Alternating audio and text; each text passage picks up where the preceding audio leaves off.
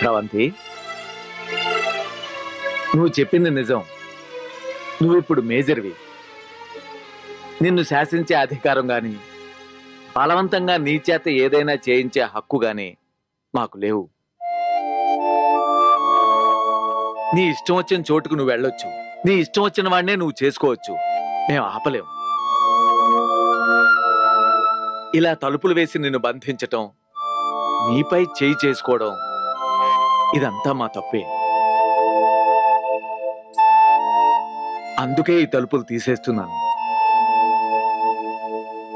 నువ్వు వెళ్ళిపోవాలనుకుంటే వెళ్ళిపోవచ్చు. నిజం స్రవంతి నువ్వు వెళ్ళొచ్చు. నేను ఆపను.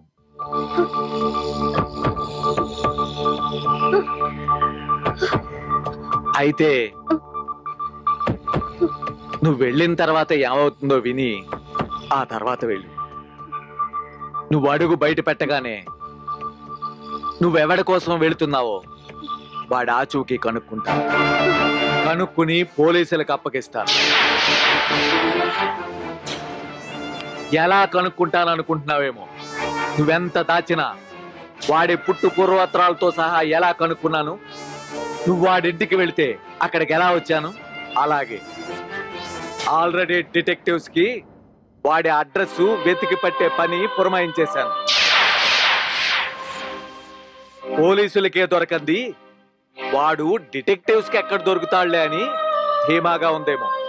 అందుకే నాకు నేను సరిగ్గా ఇరవై నాలుగు గంటలు టైం ఇచ్చుకున్నాను.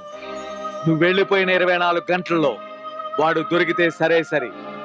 లేకపోతే హిమకి సుమకి విషం ఇచ్చి ఆ తర్వాత మీ అమ్మ నేను విషం తాగి ఆత్మహత్య చేసుకుంటాను ఆ అందరి శవాల మీద నీ జీవితాన్ని నిలబెట్టుకో. నాకు అభ్యంతరం లేదు. ఇవన్నీ ఒట్టి మాటలని బెదిరించటానికి అంటున్నానని పొరపాటు పడకు. నేను ఖచ్చితంగా అన్నంత పని చేస్తాను. నా కూతురు పెళ్ళికి ముందే ఎవరితోనో లేచిపోయిందన్న అపవాదం నేను సహించలేను.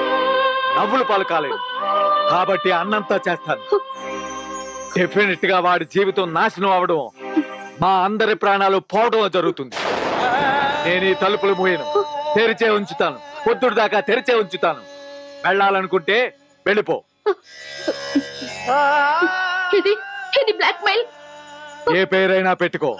నేను కాదన్నా.